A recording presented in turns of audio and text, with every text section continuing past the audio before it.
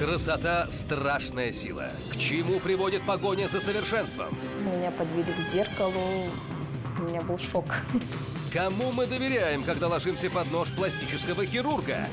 Вы кому претензии будете предъявлять? И какой будет расплата за вечную молодость? Некрозы, отмирание тканей, всевозможные контурирования, проявление шишек э, под кожей. Самые шокирующие гипотезы сегодня в 18.00 на РЕН-ТВ.